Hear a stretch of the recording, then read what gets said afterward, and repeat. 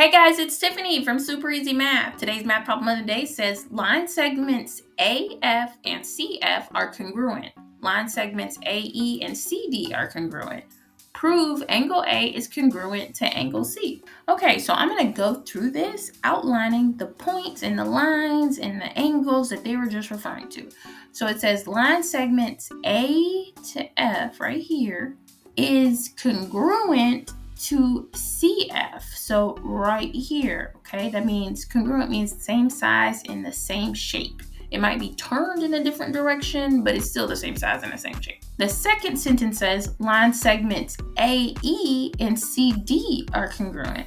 So what that means is line AE right here and CD are congruent. As you can see, we're pretty much just continuing with this symmetrical image when I highlight these certain areas, okay? And then the last sentence says, prove that angle A is congruent to angle C. So when we're talking about angle A, we're talking about here, okay?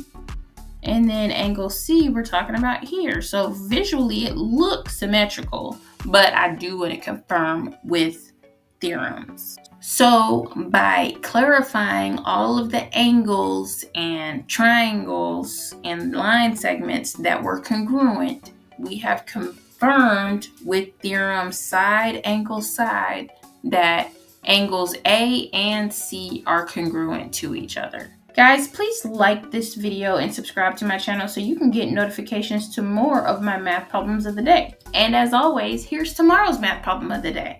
See if you can solve it before I do. Then head over to supereasymath.com and click on math videos.